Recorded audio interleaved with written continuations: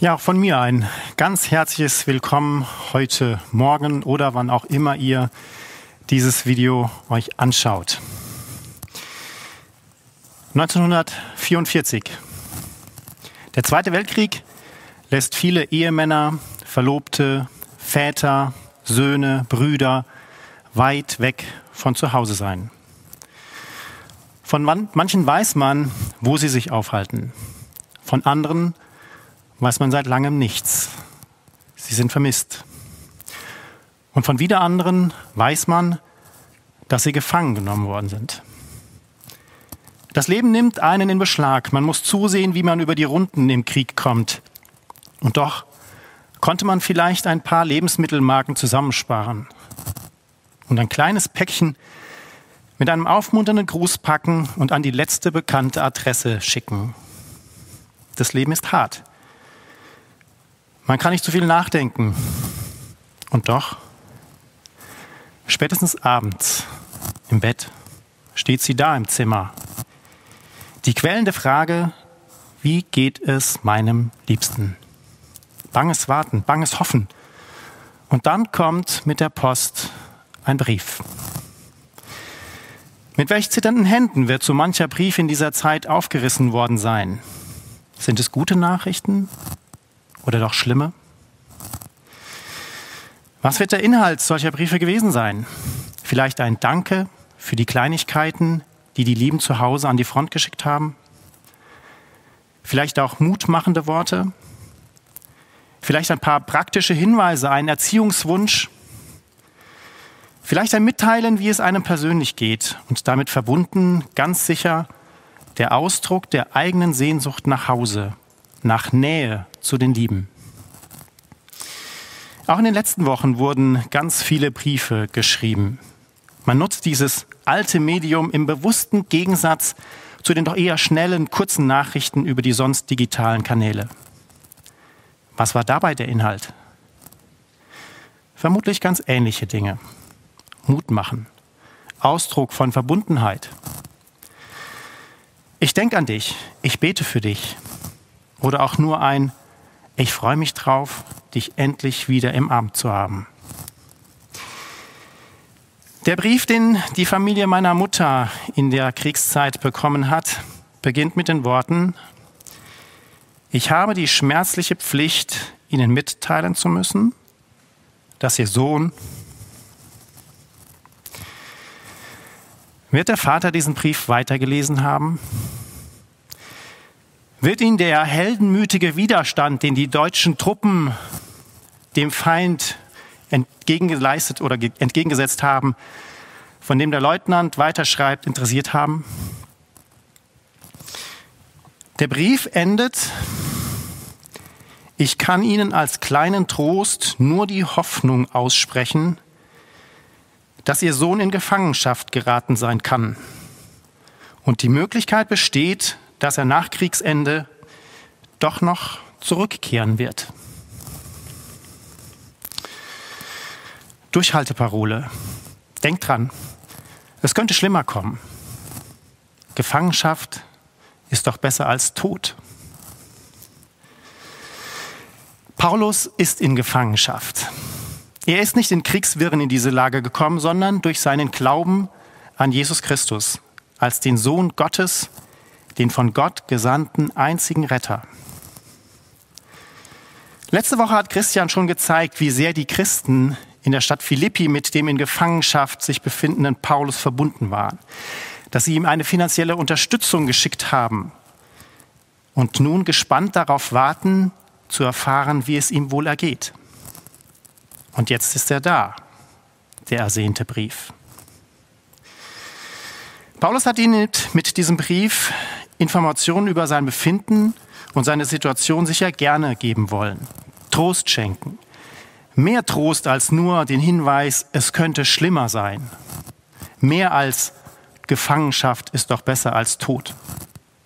Aber der Brief war nicht nur eine Informationsmitteilung, sondern, und das hat Christian uns auch letzte Woche anhand der kleinen Pflanze gezeigt, Paulus hat mehr im Sinn. Er möchte, dass die Jesus-Jünger in, in Philippi sich ihrem Glauben, in ihrem Glauben weiterentwickeln. Das macht er in dem heutigen Textabschnitt, dem Rest des ersten Kapitels, in dem er drei Dinge zeigt, die ihn persönlich prägen. Ganz sicher auch mit dem Hintergedanken, dass sich seine Freunde an ihm ein Beispiel nehmen. Das ist die Liebe zum Evangelium, das ist die Liebe zu Jesus Christus und zu seiner Ehre und das ist drittens die Liebe zu Glaubensgeschwistern und Gemeinschaft mit ihnen. Ich lese den Text aus dem Brief an die Philippa, Kapitel 1, die Verse 12 bis 30. Ihr könnt zu Hause gerne eure Bibel zur Hand nehmen und mitlesen. Ihr sollt wissen, liebe Geschwister, dass alles, was mir hier zugestoßen ist, die Verbreitung des Evangeliums gefördert hat. Denn hier weiß jeder, dass ich meine Fesseln für Christus trage. Sogar die Soldaten der Palastwache. Und die meisten der Brüder hier haben durch meine Gefangenschaft im Vertrauen auf den Herrn Mut gefasst und wagen es, das Wort Gottes ohne Furcht weiterzusagen. Es gibt zwar einige, die aus Neid und Eifersucht predigen. Andere aber verkünden die Botschaft von Christus mit guten Absichten. Sie tun es aus Liebe zu mir, weil sie wissen, dass ich zur Verteidigung des Evangeliums bestimmt bin. Die anderen verkündigen das Wort von Christus aus selbstsüchtigen Motiven. Sie sind nicht aufrichtig, weil sie mir die Fesseln noch schmerzhafter machen wollen. Aber was macht das schon? Es wird doch Christus verkündigt. Ob es nun aus ehrlichen Beweggründen getan wird oder nicht, Hauptsache, es wird getan. Und darüber freue ich mich. Ja, ich werde mich auch künftig darüber freuen, denn ich weiß, dass am Ende von all diesen Dingen meine Rettung stehen wird weil ihr für mich betet und weil der Geist von Jesus Christus mir seinen Beistand schenkt. Ich erwarte und hoffe sehr, dass ich nichts tun werde, dessen ich mich schämen müsste, sondern dass jetzt genau wie bisher Christus an mir und durch mich in aller Öffentlichkeit groß gemacht wird, sei es durch mein Leben oder durch meinen Tod. Denn das Leben heißt für mich Christus und das Sterben Gewinn. Wenn ich am Leben bleibe, bedeutet das fruchtbare Arbeit für mich. Ich fühle mich hin und her gerissen. Einerseits sehne ich mich danach, hinüberzugehen und bei Christus zu sein. Denn das wäre das Beste, bei weitem das Beste. Andererseits ist es euretwegen nötiger, am Leben zu bleiben. Darauf baue ich und bin deshalb gewiss, dass ich euch erhalten bleibe, damit ihr im Glauben vorankommt und die Freude darin erfahrt. Und wenn ihr dann wieder, wenn ich dann wieder zu euch komme, werdet ihr noch weit mehr Grund haben, stolz und froh zu erzählen, was Jesus Christus alles an mir getan hat. Auf jeden Fall müsst ihr auch in der Öffentlichkeit so leben, wie es der Botschaft von Christus entspricht. Ob ich nun komme und euch wiedersehe oder nur aus der Ferne von euch höre. Steht in einem Geist fest zusammen und kämpft in derselben Gesinnung für den Glauben, der mit dem Evangelium verbunden ist. Und lasst euch keinesfalls von den Widersachern einschüchtern. Für sie zeigt das nur, dass sie verloren sind. Für euch aber ist es eine Bestätigung Gottes, dass ihr gerettet seid. Denn ihr habt das Vorrecht, nicht nur an Christus zu glauben, sondern auch für ihn zu leiden. Ihr habt ja denselben Kampf zu bestehen, wie ihr es damals an mir gesehen habt und jetzt wieder davon hört. Paulus weiß, dass die Philipper sich um seine äußerlichen Umstände Gedanken machen. Eine Gefängnishaft zu römischen Zeiten war sicher nicht mit einer heutigen Haft zu vergleichen. Und selbst die ist nach allen Berichten nicht sehr angenehm. Von daher ist gut zu verstehen, dass die Philipper mit Paulus mitleiden und ihm nichts sicher oder sicher nichts sehnlicher wünschen, als dass er sofort wieder freikäme. Die schlimmen Umstände stehen für die Philipper, wenn sie an Paulus denken, im Vordergrund. Und das ist doch was, was wir alle kennen. Negative Dinge drängen sich gerne in den Vordergrund. Sie stehen förmlich vor uns, wedeln mit den Armen und wollen unsere gesamte Aufmerksamkeit haben. Sie wollen uns weismachen, dass sie jetzt das Wichtigste sind, um das wir uns kümmern müssen. Und sie wollen, dass wir wissen, dass sie ganz schlimm sind. Und sie wollen, dass wir uns ganz schlimm fühlen. Nun, negative Dinge erfordern tatsächlich Aufmerksamkeit. Und es ist überhaupt nichts dagegen einzuwenden, sich Gedanken zu einer Verbesserung zu machen. Aber was Paulus hier offensichtlich wichtig ist, ist, dass die schlimmen Umstände den Philippern nicht die Sicht vernebeln sollen auf das, was die Hauptsache ist. Er nimmt sie einen Schritt zurück, weitet den Blick und mit diesem Blick auf das Ganze lenkt er den Fokus seiner Freunde auf zwei schöne Dinge. Das erste, durch seine Haft erfahren Menschen von Jesus Christus, die sonst vermutlich nie im Leben von ihm erfahren hätten. Wann und wo hätte denn ein römischer Soldat von der befreienden Gnade von Jesus Christus hören sollen? In der Kaserne? Auf dem Kampffeld? Ganz bestimmt nicht. Und so ist es etwas Tolles, dass durch die Anwesenheit von Paulus im Gefängnis ganz viele von Jesus erfahren. Mitgefangene, Soldaten, Palastwachen. Das Schlimme schafft Gelegenheiten, die es ohne nie gegeben hätte. Das passt für mich so total in die heutige aktuelle Situation. So deprimierend es ist. Daniel hat es am Anfang gesagt, dass wir keine Gottesdienste zusammen feiern können, dass wir unsere Predigten in eine kalte Kamera halten müssen, dass wir uns nicht treffen können. So können doch viel mehr Menschen diese Aufzeichnungen jetzt sehen, als hier jemals in diesen Raum passen würden. Viel mehr Menschen können jetzt von Jesus erfahren. Wenn sie bisher Respekt vor diesem Haus im Fauleborn hatten und doch irgendwie neugierig waren, was denn da drin wohl passiert, nun, hier sind sie. Herzlich willkommen. Corona macht's möglich. Das zweite Schöne, auf das Paulus hinweist, irgendwie hat seine Gefangenschaft andere Christen ermutigt, auch von Jesus Christus weiterzuerzählen. Das Vorbild von Paulus dass der für seinen Glauben Gefangenschaft in Kauf nimmt und aushält, motiviert andere auch Risiken einzugehen. Leute, die sehen, dass Paulus nicht mehr auf die Straße kann, gehen nun selbst auf die Straße und verbreiten die gute Nachricht von Jesus. Dabei gibt es zwei Gruppen von Mutigen. Die einen tun es aus Liebe zu Paulus. Sie sehen die Lücke, die entsteht, weil Paulus inhaftiert ist und füllen sie. Sie wissen, wie wichtig Paulus die Verbreitung ist, wie sehr er darunter leidet, dass er jetzt so eingeschränkt ist. Und sie wollen ihm helfen. Dabei müssen sie über ihren Schatten springen, mutiger sein, als sie es sonst wären. Wahrscheinlich auch mehr Zeit investieren, um die Aufgaben von Paulus zu übernehmen. Die Liebe ist eine tolle Motivation, für andere da zu sein. Es gibt allerdings auch einen kleinen Haken. Bei den jetzt so mutig auftretenden Leuten sind auch welche dabei, die Paulus ärgern wollen. Ob bewusst oder in der Gänze der Auswirkung unbewusst, wird mir hier nicht so ganz richtig klar. Auf jeden Fall stimmt die Motivation nicht wirklich. Mir ist es ehrlich gesagt ein Rätsel, wie das zusammenpasst. Die gute Botschaft von Jesus weiterzusagen und das aus einer Motivation heraus, einem anderen Christen damit zu schaden, ihm Schmerzen zufügen zu wollen, wie Paulus schreibt. Die Botschaft von Jesus, der völlig selbstlos war, Menschen total liebte, sich wortwörtlich bis aufs Blut für sie eingesetzt hat. Diese Botschaft aus selbstsüchtigen Motiven, wie Paulus sagt, heraus weiter zu sagen, für mich passt es nicht zusammen. Aber vielleicht ist es doch einfach nur ein Spiegel, den wir Menschen hier vorgehalten bekommen, dass wir diese Zwiespältigkeit offensichtlich hinbekommen. Aber die Leute, die Paulus so zusetzen wollten, die kannten ihn offensichtlich nicht wirklich. Oder zumindest nicht gut genug, um zu wissen, dass es Paulus überhaupt nicht auf seine Person ankam, sondern nur um Jesus Christus und die Nachricht von ihm. Paulus war von Jesus Christus geprägt. Und das machte ihn immun. Das Virus der verletzten Eitelkeit, das Virus des verletzten Stolzes, des Neides kann Paulus nichts anhaben.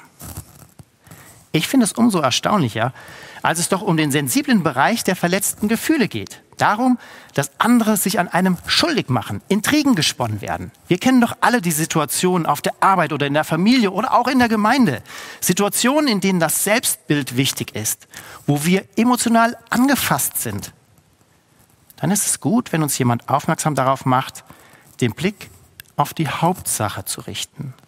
Geprägt von dem guten Beispiel von Jesus. Paulus sagt hier auch, was soll es? Schaut auf das Positive, auf die Hauptsache, dass Christus verkündet wird. Es geht hier nicht um eine falsche Lehre, sondern um die Motivation.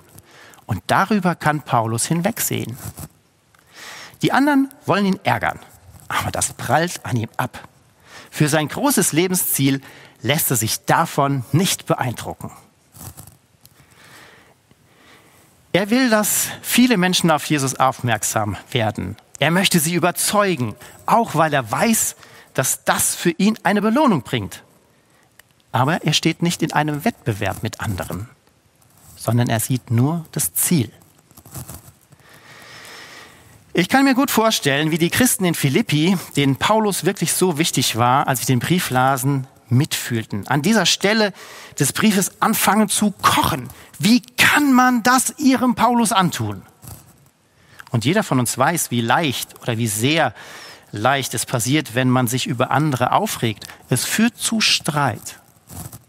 Und da greift Paulus in einer, wie ich finde, unfassbar schönen, seelsorgerlichen Art weitsichtig ein und lenkt sofort den Blick auf die Hauptsache, Christus ähnlich zu leben. Nochmal, das soll nicht heißen, dass wir Christen über allen Schwierigkeiten schweben. Wir sind auch nicht nur naiv oder wir nehmen die Welt um uns herum nicht richtig wahr. Wir sind auch nicht nur einfach positiv denkende Menschen. Nein, das sind wir wirklich nicht. Aber wir können den Blick dafür haben, was die Hauptsache ist. Paulus weiß sich in der Not bei Jesus geborgen und weiß, dass Gott die miserablen Umstände, in denen er sich befindet, für etwas Grandioses nutzt. Wie kann das denn praktisch aussehen? Was denken wir, wenn wir an kranke Geschwister denken? Wünschen wir ihnen baldige Genesung? Was ist, wenn wir an verfolgte Geschwister denken? Wünschen wir ihnen Sicherheit, Freiheit, die Möglichkeit, ihren Glauben offen auszuleben? Ja, das tun wir. Aber bitte immer mit dem geweiteten Blick, was Gott in diesen schweren Zeiten an und mit diesen Geschwistern tut. Das Zweite, was Paulus prägt, ist die Liebe zu Christus und zu seiner Ehre. Darum geht es in dem Abschnitt ab Vers 20. Für ihn ist es absoluter Lebensinhalt, dass Christus geehrt wird. Es ist ihm eine furchtbare Vorstellung, dass er etwas tun könnte, was Christus entehrt, was Christus klein macht. Er denkt aber nicht nur äh, ne-, negativ, sondern auch positiv. Nicht so nur, ich möchte nichts tun, das, sondern er denkt positiv. Sein Ziel ist es, dass durch sein Leben andere Jesus sehen. Und es ist ihm dabei egal, ob Gott sein Leben hier beendet oder noch etwas mit ihm vorhat. Beide Möglichkeiten sind für ihn realistisch. Das Geprägtsein von Jesus Christus macht Paulus nicht nur resistent gegen die Ärgernisse anderer, es macht ihn auch frei von Selbstverwirklichung. Für ihn ist nicht wichtig, wie er seine Freizeit schön ausfüllen kann. Für ihn ist auch nicht wichtig, dass sein Job ihm Spaß macht. Für ihn ist wichtig, was Gott von ihm will. Sicher haben die Philippe Angst um sein Leben gehabt und das zu Recht. Aber auch hier lenkt Paulus den Blick auf die Hauptsache. Was wäre denn, wenn? Schaut euch das doch mal mit etwas Abstand an. Er wäre bei Jesus. Und das ist für ihn das Schönste, was er sich vorstellen kann. Für ihn ist Tod nicht schlimmer als Gefangenschaft. Aber die Liebe zu Christus und seiner Ehre lässt ihn nicht egoistisch sein. Und so wägt er ab, was er noch alles tun könnte, wenn Gott ihn am Leben lässt. Er kommt zu dem Schluss, dass Gott ihn noch gut gebrauchen kann. Wie sehr er seinen Glaubensgeschwistern noch nutzen könnte. Und so macht er den Philippern Mut, dass er überzeugt ist, ihnen noch eine Weile erhalten zu bleiben. Und das führt zum dritten, wovon Paulus geprägt ist, von der Liebe zu Glaubensgeschwistern und der Gemeinschaft mit ihnen. Zum einen stellt er sich eine frohe Gemeinschaft vor. Vers 26 ist das. Ein frohes Beisammensein, bei dem Paulus alles berichten kann, was Jesus mit ihm getan hat, was er mit Jesus erlebt hat. Für uns ist es zwar im Moment etwas eingeschränkt. Besuche sind der Eindämmung von Corona nicht förderlich. Aber es gibt auch anderen Informationsaustausch und den nutzen wir. Und es gibt auch ganz sicher eine Zeit nach Corona. Gemeinschaft ist aber auch eine Energiequelle in schwierigen Zeiten. Wenn Christen zusammenstehen, können sie sowohl ihren Glauben anderen gegenüber sicherer vertreten, aber auch Leiden besser ertragen. Schon im ersten Abschnitt haben wir gesehen, dass Mitleiden mutig macht. Und so gibt Paulus seinen Freunden ein paar praktische Dinge mit auf den Weg. Ein paar praktische Anforderungen, Sie sollen in einem Geist fest zusammenstehen. Sie sollen in derselben Gesinnung für den Glauben kämpfen. Und sie sollen sich von den Widersachern nicht einschüchtern lassen. Vergessen wir nicht, die Christen in Philippi haben kein ruhiges Umfeld. Sie sind umgeben von Griechen, die ihre Götter haben, von altgedienten römischen Soldaten, die auch ihre Götter haben, und sie sind umgeben von Juden, die oder für die sie auch nicht das richtige Gottesverständnis haben. Was prägt dich in deinem Leben, deinem Denken und deinem Handeln? Was war es für Paulus? Paulus war geprägt von der Liebe zu Jesus Christus und zu seiner Ehre, die, der Liebe zu seinem Evangelium und der Liebe zu Glaubensgeschwistern und Gemeinschaft. Er hatte ein klares Lebensziel, einen klaren Lebensinhalt. Da ließ er sich von nichts und niemandem ablenken, von keinen negativen Umständen, keinen menschlichen Befindlichkeiten, sogar nicht vom Tod. Er war klar fokussiert auf das, er war klar fokussiert auf und geprägt von Jesus Christus. Und wie dieser Jesus Christus ist, stellt er im zweiten Kapitel vor. Und darum geht es am nächsten Sonntag. Seid dabei und bis dahin bleibt behütet.